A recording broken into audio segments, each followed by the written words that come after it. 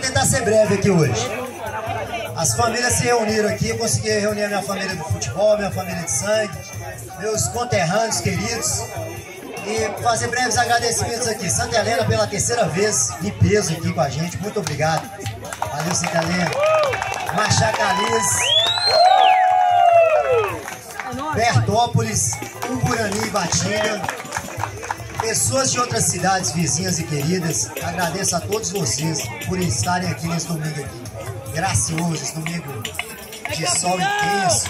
Chupa! Queria falar para vocês aqui que o Lázaro foi uma pessoa, queria que o Lázaro viesse aqui, junto com a comissão organizadora, Kekeu. Kekeu não pode, não pode vir muito por causa das fotos, né, Kekeu? O Flávio Francisco participou muito dessa comissão, mas não pôde estar presente aqui porque é aniversário do filho dele. Vários de vocês já conhecem o Flávio. Muita gente aqui me ajudou muito, mas muito mesmo. Não tem nem palavras. Quem puder aqui, o uniforme, o tio Zé Maria, a parte do som. A galera de Santa Helena mais uma vez. Pessoa... O patrocínio, queria agradecer o patrocínio dos dois troféus, que foi a família Ornelas.